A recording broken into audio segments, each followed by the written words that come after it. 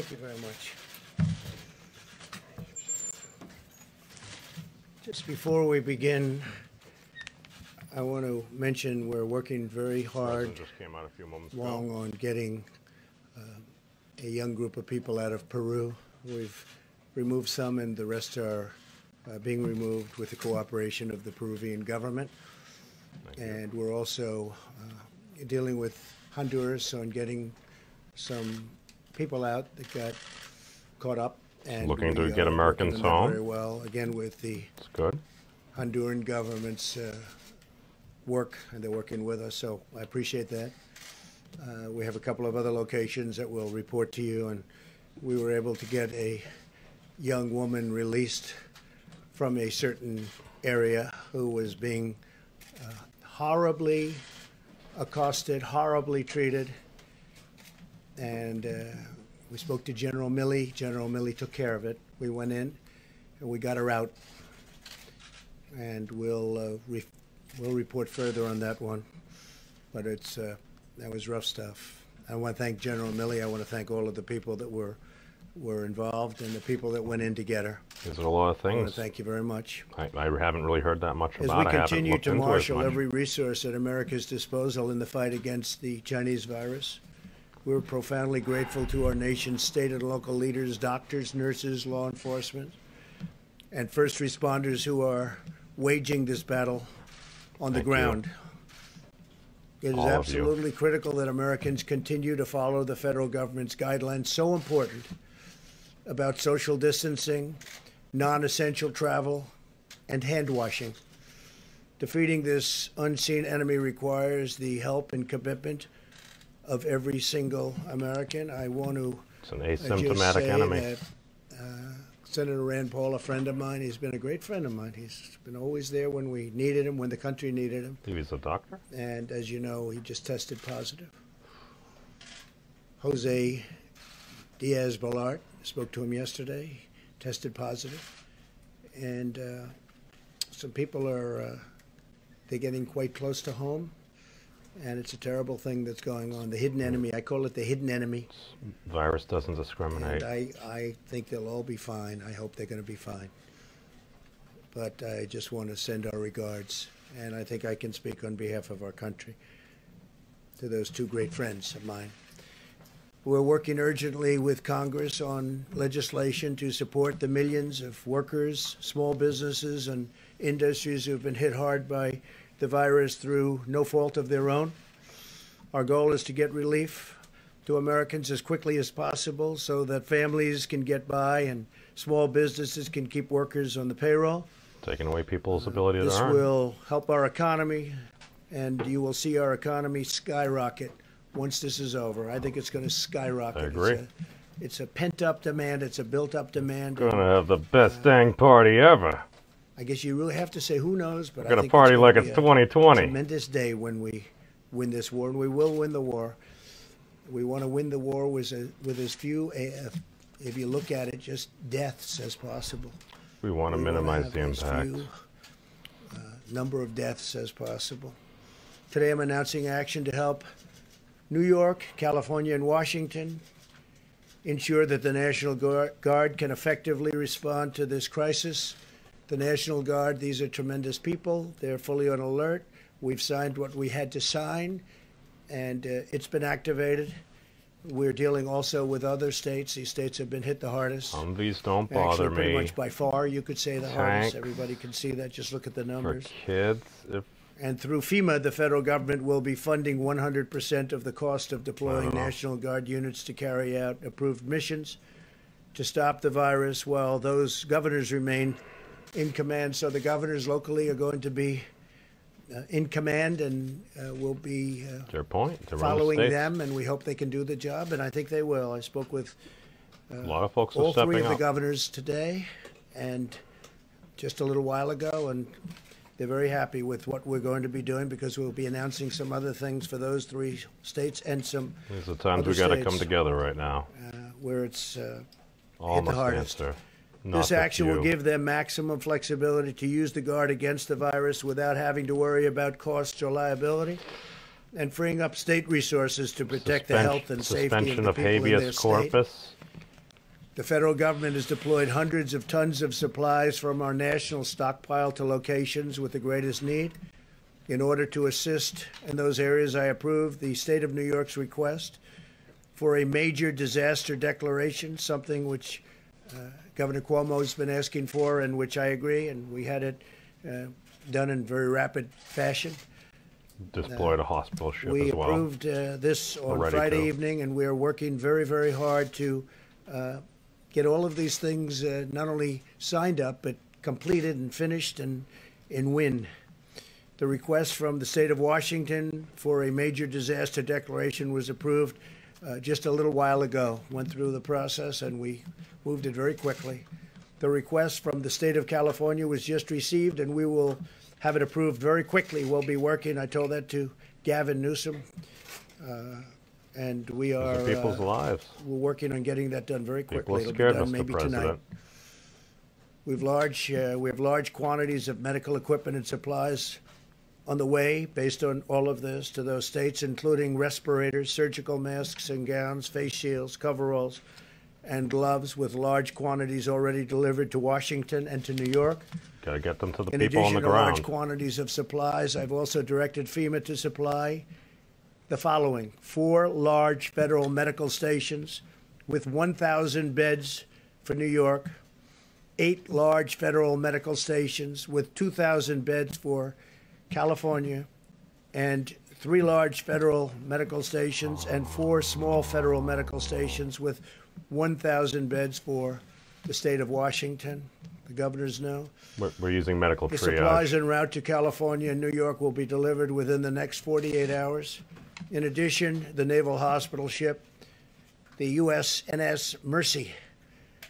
It's um, incredible ships. These two ships are incredible. One on the west coast, one on the east coast. Will be 30,000 deployed to gallons Los of Angeles salt water an hour to add emergency surge medical capacity. Tho- and they have those ships ain't no joke. They are really something. Uh, I will say that uh, if you look at some of Well, the we ain't things effing we've around. doing, and now those numbers have gone up, and just to be a little bit more exacting, uh, we've done a presidential approval for a request for major disaster declaration for the state of New York. Uh, approval of Title 32 National Guard activation for the state of New York. We're providing all of this at no cost to the governor.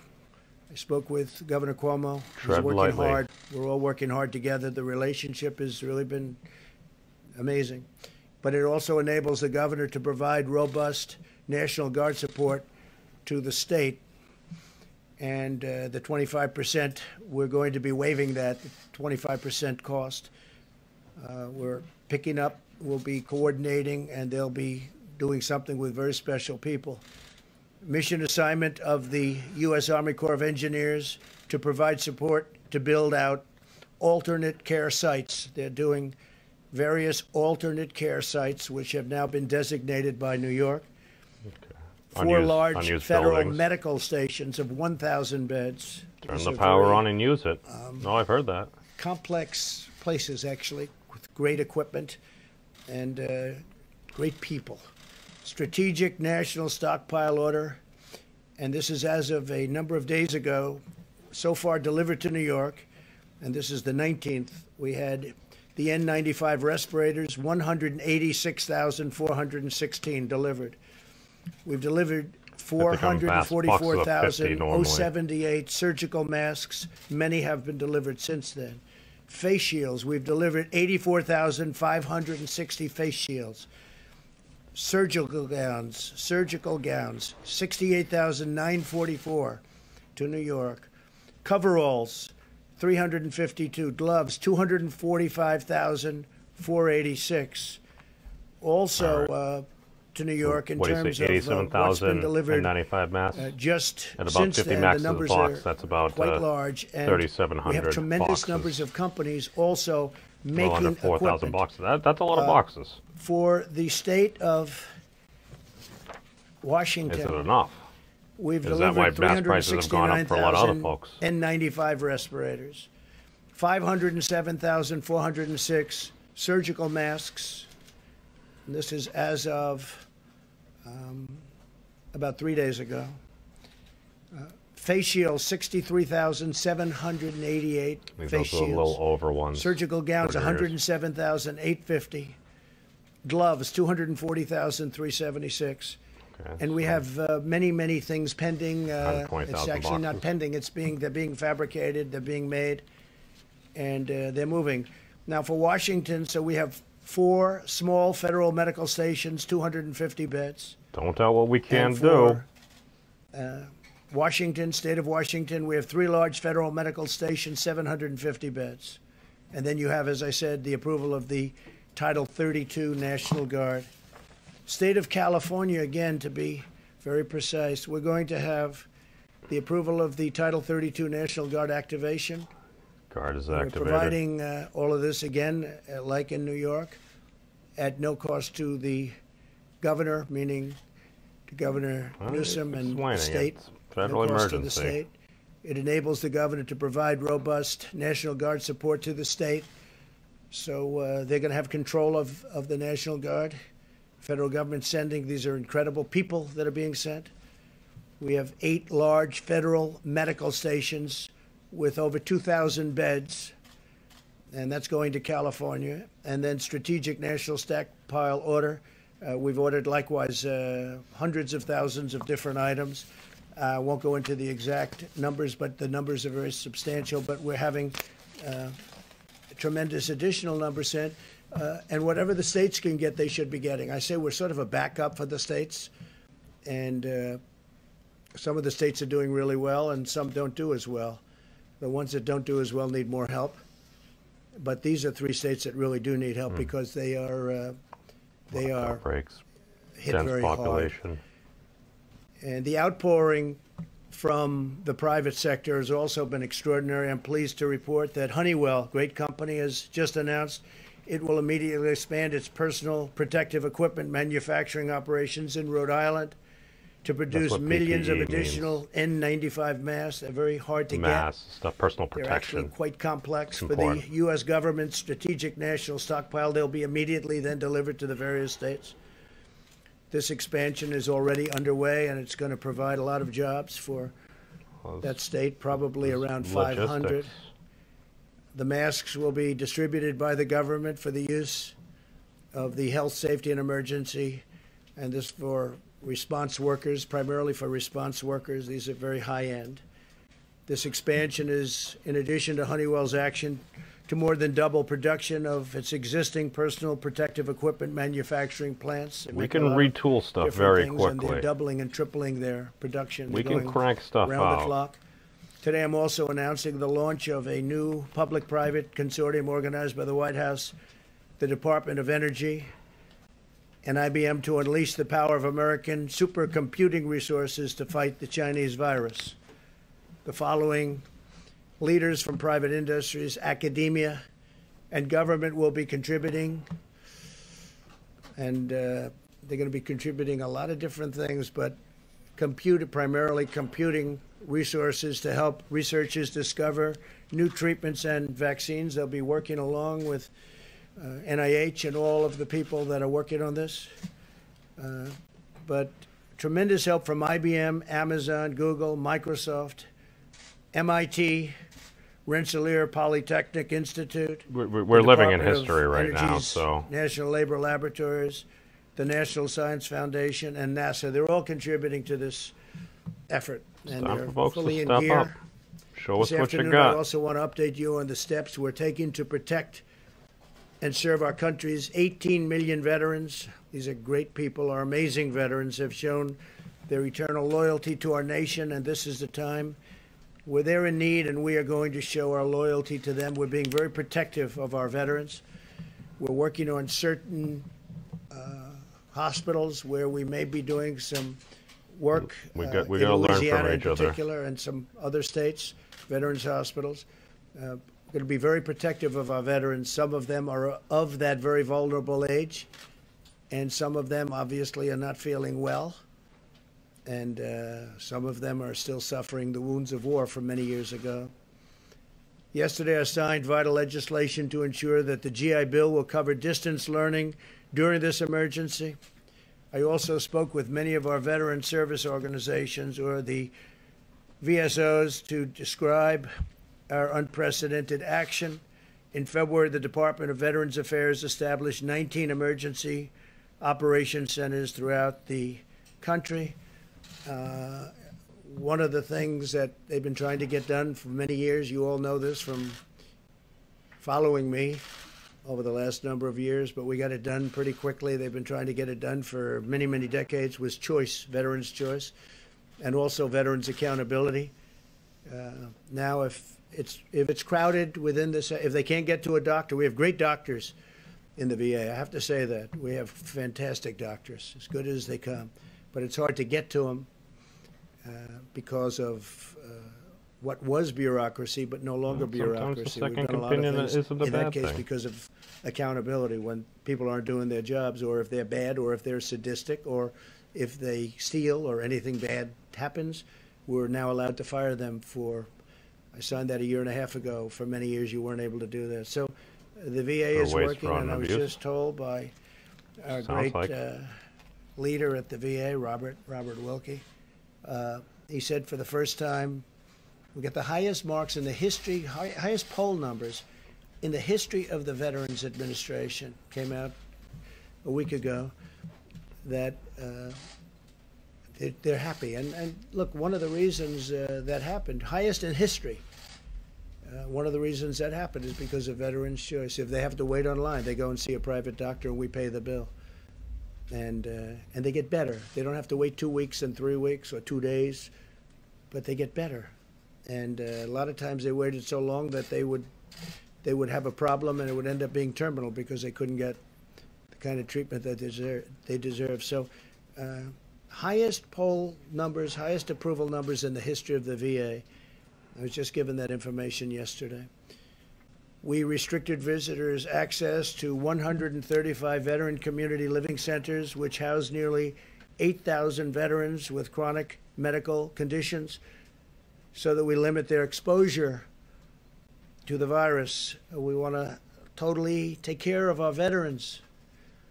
And uh, that's what we're doing. The VA has canceled most elective medical and surgical procedures. They're delaying them till uh, after this is gone, after we've won. We began providing life saving care to patients who had symptoms across the 171 VA medical centers nationwide. That's a big deal. Under my administration, the VA has also been a leader in expanding telehealth. Telehealth is becoming a bigger and bigger factor in, uh, in medicine. This month, we have taken bold action to cut through the red tape and make telehealth available for millions more Americans during this crisis. They can speak to a doctor from the safety of their home rather than risk becoming infected or making a tremendously long trip. We've digitized When a lot frankly, of this stuff speak over to a great years. doctor right from your We home. have the technology. It's happening, telehealth. We're very much at the forefront of that too. We're very proud of it. And it also takes a big burden off our system. We continue to accelerate the development of safe and effective sick people all in the vaccines. same area. We're also aggressively investigating a number of antiviral therapies and treatments to determine their potential in reducing the severity and duration of the symptoms. And you know how I feel because how I feel is on Tuesday, they're going to be starting it on Tuesday morning. And uh, we're going to have uh, some medications delivered that we're going to see if they work. They certainly are effective in other ways, and uh, they they are safe from the standpoint is that they're not, they're not killing people. We're not going to have that. So uh, a lot of great things have been happening. People, people need to know. Uh, I just want to finish, and then we're going to ask a couple of people to say a few words. We're also not so sure much in the large-scale use for so many people. Incredible job that we've all There is red tape, but very often there's reasons But why I, it's I there. want to say that I know that this is a challenging time for all Americans. We're enduring a great national trial, and we will prove that we can meet the moment. I want to assure the American people that we're doing everything we can each day to confront and ultimately defeat this horrible, invisible enemy. We're at war. It's a In plague. a true sense, we're at war, and we're fighting an invisible enemy. Think of that. For those of you who are feeling alone and isolated, I want you to know that we are all joined together as one people eternally linked by our shared national spirit. We love our country, a spirit of courage and love and patriotism. No American is alone as long as we are united, and we are united. We're very united. People are saying things now that three weeks we ago fall. they didn't talk that way. We're very united.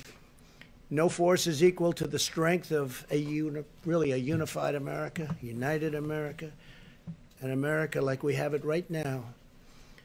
For those worried and afraid, please know as long as I am your president, you can feel confident that you have a leader who will always fight for you, and I will not stop until we win. This will be a great victory. This is going to be a victory.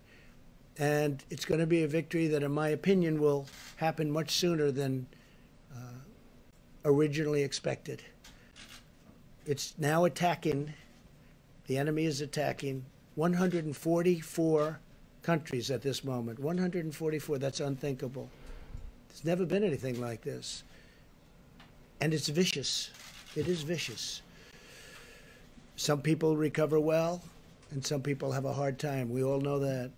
But we will be totally victorious. We will then get our economy up to a level that it was, and I, in my opinion, beyond, because that will be a pent up demand. There is a pent up demand, and uh, a lot of a lot of great things will happen.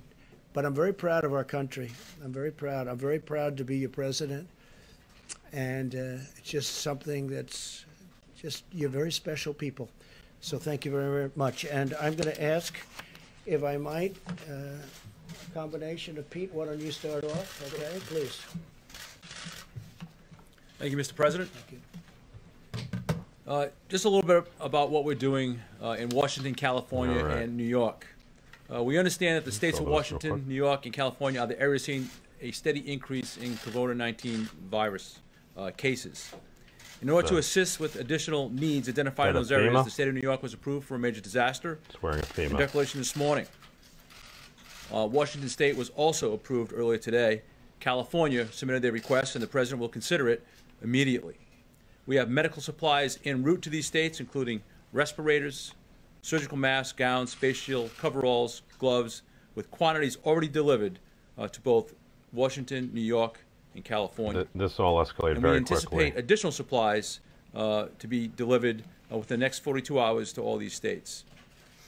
Under President Trump's unprecedented national emergency declaration on March 13, FEMA is assisting state, local, tribal, and territorial governments, including reimbursing eligible emergency protective measures taken at the direction or guidance of public health officials in response to this emergency. Gotta make sure All they 50 have what they states, need. the District of Columbia, five territories, and two tribes are working directly with FEMA under the nationwide emergency declaration for COVID-19. With the assistance of the FEMA regional administrators who are throughout the country, we are working to address the needs of state and local officials everywhere.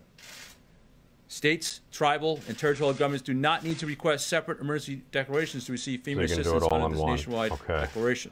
Having to do multiple The emergency declaration does not the authorize direct financial assistance available to individuals such as disaster unemployment assistance or other needs uh, assistance at this That's the time. thing. There might be things available. Just a note on the know. USNS Mercy. Uh, Well, Based on analysis of the potential needs for hospital beds on the West Coast, the decision was made that the USNS hospital ship Mercy would have the greatest impact in California. The Department of Defense has been given direction to dispatch it to Los Angeles immediately. DoD has advised that the Mercy can get into position within a, uh week or less uh, of today's order. Uh, even though there are more cases right now in Washington, the projected needs for beds in California is five times more of more people. that of Washington. The Mercy will be used to take pressure off local hospitals, Right. other medical needs, and not for treating COVID-19 cases. Exactly. Don't want it on a ship. And finally, a little bit so about the National with Guard. it's literally floating hospitals. So The federal government continues to take aggressive action people and who may have the virus to address the COVID-19 area. threat as we make sure you have the proper attack PPE. the health and safety or protect the, the health and safety of the American people. It remains our top priority. The National Guard is especially posted and equipped to assist federal, state, local agencies while serving the public. In response to this unprecedented nationwide operation, President Trump hospitals. has approved uh, Washington, California, and New York uh, National Guard units under Title 32, excuse me, Title 32 status for the COVID-19 response. the President's action provide the nation's governors continued command of their National Guard forces, enabling states to use additional resources to meet the missions necessary in the COVID 19 response. The National Guard is a viable and responsive avenue to provide a much needed asset is. that is state managed and federally supported. And I want to be clear this Title 32 activation does not federalize National Guard members. The National Guard is still under the authority of each governor. They will work in concert with the Department of Defense. And we've had a lot of disinformation circling, and I want to make sure it is understood that this is not State martial managed, law. federally The Department of supported. Defense, by way of a mission assignment, will lead this task. Let's, let's hope we And don't finally, get there. uh, we continue to respond to hundreds of requests from governors uh, across the country in filling all their critical needs. Thank you, sir. Thank you, Pete, very That's much. fine. Peter Navarro? Thank you, sir. All right. Thank you, Mr. President. Good evening. So we'll we'll stop with that for now. Um, I'll put the little link in the dooley doo below, so uh, y'all can check it out. But uh, yeah, so the president has is granted uh, at least one or more, and he's highly considering another state of uh, basically disaster that should open up additional federal funding and everything for the different states. He's saying now they ha- actually have a stockpile that is actually in process of getting to these states and the actual medical professionals, emergency personnel on the ground, PPE, which is prop, uh, personal protective equipment, basically things to minimize your exposure, contact with the virus, whether it's a respirator, something you're wearing just as like an N95 mask, uh, gloves and stuff like that. Just stuff that you can actually recycle. I've heard some folks talk about potentially washing and everything. We go delve into a whole nother thing down there as well.